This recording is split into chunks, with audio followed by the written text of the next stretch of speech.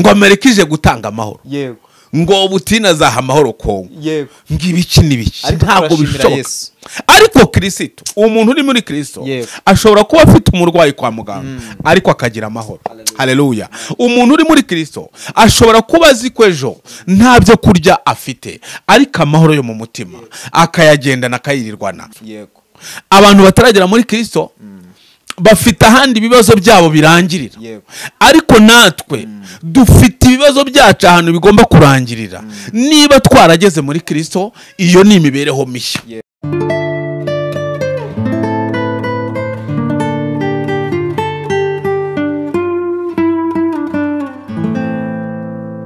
Ya nshuti bakunzi ba player and face tv turabasuje cyane. Amahoro imana itanga nabane namwe. Rero jye ubasuhuza n'ijambo ari twagira umugisha nka player and face tv twasuye umukozi w'imana teo teo umeze neza? Ndashima rwose imana yo mu ijoro aha rero twagira umugisha abantu barakuzi ko ugira ijambo. Kandi n'igihe urabizi ko ngewe ndakuzi turaziranye Mm. mu bantu bagira ijambo ribaba hafi. Niyo umuntu yagukangura ati vuga ijambo. Eh. wahita urigira rero ndabizi ko imana yaguhamagaye Eh, rero nagira ngo hari abantu bakubonye bwa mbere nagira ngo ubibwire numara kubibwira duhite dusenga imana uhite dusengera imana dutangire ijambo ry'imana. Inshuti bakundwa ndabashuje mu izina rya yesu. Eh, nitwa nzamuramba tonesi ndi umuvugabutumwa. Eh, nkaba ngarutse hano kuri pureya andi fesi tivi kubaganiriza ijambo ry'imana. Mu magambo makeya ntabwo ntibwavuga amagambo menshi kuko icyo nzanye ahangaha ni ukugira ngo tuganire ku ijambo ry'imana. Akenshi na kenshi buriya iyo abantu babonye umuntu bwa mbere bagira amatsiko ariko usubiye inyuma ku biganiro by'i- by'inyuma nagiye ntanga ubuhamya mbwira abantu ko ibyo yesu yankoreye aho yesu yankuye n'ibitangaza ajya akora ubushize nabaye ikiganiro cy'ukuntu mugomba gushima imana. Byaba umva. Byaba byanze ugomba gushima imana. None ubu nkuzaniye ijambo ririmo tugiye mu baroma. Igitabo cy'abaroma cyanditswe n'umugabo bita pawulo. Pawulo uyu nguyu yagiye ahura ni- n'intambara zikomeye ariko mbere nawe yabanje kuba eh, kuba umuntu w'umunyabyaha. Aza kuba umunyabyaha aza kuba umuntu ucurogana mu byaha ndetse ana- aranarenganya. Reka dusome turasoma abaroma igice cya mbere umurongo waho wa mbere turageza no kuri kabiri ntabwo dusoma amagambo menshi. Aravuga ngo imibereho ya- mishya y'abari muri kirisito yesu. Iyo ni titire y'amagambo buriya mba hari icyo bita imibereho. Abantu bose bagira imibereho Buri wese aba afite imibereho ye. Umuntu agira imibereho yo kuba acuruza amakara undi akagira imibereho yo kuba ari umunyonzi umuntu akagira imibereho yo kuba ari umufongisiyoneri umuntu akagira imibereho y'uko akora ku kibuga cy'indege ibyo na byo ni imibereho ye. Umuntu akagira imibereho y'uko yize undi akaba umunyagataro undi akaba agira imibereho yo kuba yibereye hariya hepfo mu giturage. Hari n'abantu noneho nabonye atanazi n'i kigali. Ku buryo wamugeza i kigali akareba gutya ibintu bikamucanga. Ariko ndagira ngo tuganire ku cyo bita imibereho. Yego. haleluya Mm. imibereho y'abari muri kirisito yesu. Aba bantu bari muri kirisito yesu ni bantu ki baratandukanye. Pawulo yabanditseho ageze ku murongo wa munani ku bice umunani umurongo waho wa mbere. Aravuga ngo noneho imibereho mishya y'abari muri kirisito yesu. Haleluya imibereho mishya. Nshuti bakundwa tugomba kugira itandukaniro rya- ry'abantu bataragera muri kirisito abantu bataragera muri kirisito bafite ahandi ibibazo byabo birangirira. Ariko natwe dufite ibibazo byacu ahantu bigomba kurangirira. Niba twarageze muri kirisito iyo ni imibereho mishya. Haleluya. hari indi mibereho y'abantu bibereye mu kabari. Barara bakubitana amacupa. Barara ba- babyuka umugongo wacitse. Abyuka yumva ibibazo byamurenze. Ariko twebwe ndagira ngo tuganire ku mibereho mishya y'abari muri kirisito yesu. Haleluya haravuga ngo rero nuko rero noneho abari muri kirisito yesu nta teka bazagwaho iteka icyo kintu ndumva abantu benshi babyumva. Kera umwami iyo yaguciragaho iteka. Wahita wahinduka ikivume. Ndetse wabaga buri muntu wese ukubonye yakwica. Akajya no kukubamba cyane. Iyo uciriweho iteka n'umwami urazi yesu kirisito bamuciriye iteka. Bamucira iteka ryo kubambwa ku musaraba. Ariko twebwe bibiri iravuze ngo nuko rero noneho abari muri kirisito yesu. Yego. haleluya nta teka bazacirwaho. Ni ukuvuga ngo nta cyemerewe igihe uri muri kirisito kuguciraho iteka. Ariko wakwihaye amashyi niba uri muri kirisito umuntu uri muri kirisito arakomeye. Nje kugutangariza aya magambo. Umuntu uri muri kirisito afite ubutware. Umuntu uri muri kirisito afite ubushobozi. Umuntu uri muri kirisito ntabwo ubukene bwamuciraho iteka burundu. Umuntu uri muri kirisito ntabwo ibigeragezo byamuciraho iteka hari abantu baciriweho iteka ubu ngubu akaba avuga ati uko bisa kose ntabwo ibyanjye bizashoboka. Yego. Bamaze kwiheba mba. Bamaze kugera muri kayo kuvuga ngo ibintu byanjye ntibishobora kwemera nuko nagirane ariko ndagira ngo haracyariho ibyiringiro bamaze gushyiraho akadomo asigaye yigira mu kabari agakubita urwa yose. Akavuga ngo byose ni hahandi ariko nje kugutangariza iri tangazo. Ndi kuri ino kamera. Ndakubwiza ukuri. Imana y'amahoro. Umuntu uri muri kirisito ntabwo ibigeragezo. Ntabwo ibintu bizaguciraho iteka ngo bikunde. Niba waragezemo. Umuntu uri muri kirisito ntabwo abarozi bamuciraho iteka ngo bikunde. Umuntu wageze muri kirisito ntabwo ibimugerageza byamuciraho iteka hari abantu ubu bamaze kujya muri ka yo gucirwaho iteka ikigeragezo kikaba cyaramurangije. Akaba avuga ati ukabindi nabuye ikigeragezo cyaranangije. Reka hari uwita afata y'akabari undi akajya mu buraya undi agahita afata ize agafata gahunda ze ariko akavuga ngo ariko nje kugutera ibyiringiro. Yego. abari muri kirisito yesu Muri Kristo. nta teka bazacirwaho Yego. rero iteka iryo ari ryo ryose. Kuko imana yacu irategeka bikemera. Hano ku murongo wa kabiri haravuze ngo tujya ku murongo. Kuko itegeko ry'umwuka w'ubugingo bwo muri kristo yesu ryambatuye ububata bw'itegeko ry'ibyaha n'urupfu. Niba waratsinze ubasha gutsinda urupfu. Rukaba rutabasha. Urupfu rwa kabiri. Ni ukuvuga ngo buriya iyo usomye mu byahishuwe ugasoma igitabo byahishuwe ibice makumyabiri na kimwe na makumyabiri na kabiri. Havuga, havuga iby'ibyaha n'urupfu bavuga- havuga iby'urupfu rwa kabiri. Iby'urupfu rwa kabiri ukuntu bizagenda bigenda. Ariko bakavuga ngo abantu ba- bamenye uno mugabo. Nta urupfu rwa kabiri rushobora kubatwara. Uko byasa kose. Ah. kuko niba uzatsinda urupfu rwa kabiri kandi nirwo rufite imbaraga ruzatwara n'ubugingo. Ni ukuvuga ngo n'ibindi byose. Aha shyira umutima hamwe. Yego. Ndagira ngo ngutangarize iri jambo. Shyira umutima hamwe. Nta abari muri kirisito yesu nta teka bazacirwaho. Niba mwabimenya.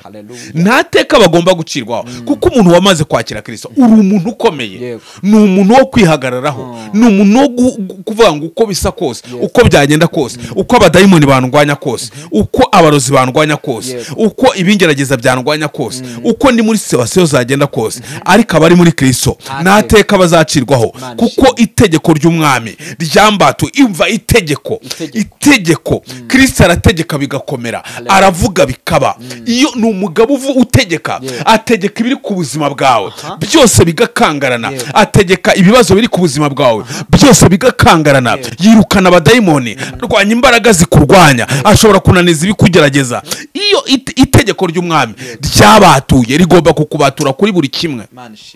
Haleluya hari ahantu iyo usomye agatabo k'umugenzi ngo hari aho umukirisitu yageze noneho agera mu isayo bita agahinda gasaze ayivamo ayivuyemo aterera umusozi bita biruhanya aterera uriya musozi bita biruhanya ahura n'intare ziziritse arazirenga ngo none haza guhura n'igihanda bita bwihebe. Igihanda bwihebe kiramufunga kiramufungirana aza kwibuka ko afite urufunguzo. Urufunguzo rero. Iyo wagiye muri kirisito uba ufite urufunguzo. Urufunguzo rushobora gufungura ibyawe. Urufunguzo ni amasengesho bene data. Ugafungura. Noneho rya tegeko ry'umwami rigategeka. Umwami akavuga ngo noneho byose ndabirangije. Reka twongere twishyiremo akabanyabugabo tuvuge ngo uko byasa kose abari muri kirisito yesu ntabwo ubukene bwaduciraho iteka ntabwo ibibazo byaduciraho iteka nta cyaturangiza. Reka twongere dukomere. Ndavuga ngo nimukomere mwongere mwishyiremo imbaraga. Kuko niba kirisito a- itegeko ry'ibyaha n'urupfu twarabashije kubitsinda ku- ku- kubwo kuko turi muri kirisito kuko uri muri kirisito urupfu nta kintu ruzamutwara kuko uri muri kirisito ibyaha ntabwo bizamuyobora. Azagenda. Iyo usomye kino gitabo kikwereka ko buriya ibyaha byatsinzwe. Igihe yajyaga ku musaraba ibyaha. Yananije imbaraga z'icyaha. Yaziciyemo kabiri. Arazinaniza. Niyo mpamvu twebwe tutagomba kugengwa n'ibyaha. Hano haravuze ngo ni uko rero abari muri kirisito nta teka bazacirwaho ariko ni ba bandi bamurimo. Ahubwo nabazaga ngo kuba muri kirisito ese muri muri muri muri muri kirisito murimo neza? Murahagaze muri muri kirisito kugira ngo abarwanirire kugira ngo atubere umugabo wacu wa mugabo uturwanirira. Abari muri kirisito nta teka bazacirwaho ndagira ngo nkubwire ngo niba wari ufite ubwoba ubwoba bw'ibyaguciraho iteka ubwoba bw'abarozi ubwoba bw'i- bw'ibiguhangayikisha ntabwo ushobora kugenda imana itabishaka. Haleluya haleluya ntabwo mbabwira amagambo menshi rero n'ubutaha tuzaganira ariko abari muri kirisito turashimira imana. Abari muri kirisito yesu. Abantu bari muri kirisito uzi ko hari abantu bari mu bindi bintu bitari muri kirisito yesu? Ah, mbese ntabwo uzi abantu bari mu nzoga se? Hari abantu bibereye mu bidomoro. Cyangwa Inzoga, kubitiza yose. akabyuka mu gitondo ni inzoga nizo zimuhesha nizo zimuhesha amahoro. Ariko si ibyo ngibyo. Mm. Koko bifite umutekano nta mutekano. Oya abantu bari muri kirisito abari muri kirisito abantu bari muri kirisito ariko ibaze kuba kirisito uri muri kirisito Eh? urumva uri muri kirisito teka. Ntateka agomba gucirwa mbese uri muri kirisito yesu aba afite umutekano. Cyane. Kandi umutekano reka tuwusobanure uwo mutekano uwo ari wo Yego. Hari- hariho abantu bafite umutekano wo mu mutima. Ariko hanze ubukode bubamereye nabi. Yego. Hari abantu bafite umutekano muri kirisito yesu Eh. ariko kugenda n'amaguru yashaka kujya kimironko akazava za kanombe akagenda nyine ni uko ameze wowe umbwiye n'akantu. Ahubwo imana iguha umugisha. Buriya hari Ah. ikintu abantu mutazi. Abantu bazi ko abantu bagira amafaranga menshi. Ahari ari bo bafite umutekano. Ariko abenshi buriya ni ukubabona bagenda abenshi barawubuze abenshi bararara mu bibazo bararara badasinziriye bafite ikibazo cy'amakamyo yabo bafite ikibazo cy'amaetaje yabo bagiranye ikibazo n'abakozi babo. Ariko abantu bari muri kirisito yesu. Umuntu uri muri kirisito yesu. Muri kirisito yesu. Bibiri iravuga ngo ni icyaremwe gishya. Yego. Ni ukuvuga ngo mu yandi magambo ibya kera biba bishize. Yego. Bya bindi biba bishize. Ibikuzunguza ibigutesha umutwe ibigutera. Umuntu uri muri kirisito yego. aba ari icyaremwe gishya. Gishya. Kuko umuntu uri muri kirisito buriya ashobora kuba yaguze ikiro cy'umuceri. Wowe uri mu depa ufite imiceri ihari ufite ibiki ufite amazu ufite ibiki akakurusha kunezerwa. Kubera ko ari muri kirisito ntabwo umunezero uturuka ku- kuri biriya bintu byinshi abantu bafite. Abenshi byabateye imitima. Abenshi byarabasajije. Umuntu uri muri kirisito aba afite amahoro yo mu mutima. Hari ikintu buriya imana itanga. Ikintu cya mbere abantu batazi isi itaratanga. Na bugingo n'ubu itazanatanga. Ni amahoro yo mu na mutima yesu yaherutse kubivuga Eh. aravuga ngo mbasigiye amahoro. Amahoro. Yego. Mbese ni cyo kintu isi cyane? Hari abantu bagerageza gutanga amahoro? Hari n'umuryango hano ku isi ngo ushinzwe amahoro? Eh. ariko byarabinaniye. Umuryango se ushinzwe amahoro urayafite. Nawe ubwawe wayabuze n'abawurimo barimo barasara. He? Ngo amerika ije gutanga amahoro. Yego. Ngo butina azaha amahoro kongo. Yego. Ngo ibiki n'ibiki? Ntabwo bishoboka. Ariko kirisito umuntu uri muri kirisito ashobora kuba afite umurwayi kwa muganga ariko akagira amahoro. Hareruya umuntu uri muri kirisito ashobora kuba azi ko ejo nta byo kurya afite ariko amahoro yo mu mutima akayagendana akayirirwana. Abari muri kirisito nta teka bazacirwaho. Umuntu uri muri kirisito ushobora kumuroga akabimenya ariko akagumana amahoro akumva ko ejo n'ejo bundi. Niba imana yamurekuye ari bwo azagenda. Ariko nitamurekura aravuga ngo kuko umwami imana izanaba. Nicyo gituma njye ntamwara. Uri muri kirisito aba afite amahoro yo mu mutima. Uri muri kirisito ubundi ikizakubwira ko unakomeye uri muri- kirisito ni ukuba biriya bi- ibigeragezo bica amazi bya bintu biguhangayikishije ukabona wabiciye amazi. Noneho iyo uri muri kirisito ni ukuba ubona wanezerewe. Ugashaka ko n'abandi banezerwa. Bagira uwo munezero. Ariko umuntu utari muri kirisito abura amahoro agira amahoro agashaka kuyabuza abandi. Agashaka kuyiharira wenyine. Ariko umuntu uri muri kirisito agira amahoro agashaka no kuyaha ku bandi. Imana ishimwe. None nuko rero pawulo ageze kuri bano baroma abari muri kirisito yesu nta teka bazacirwaho.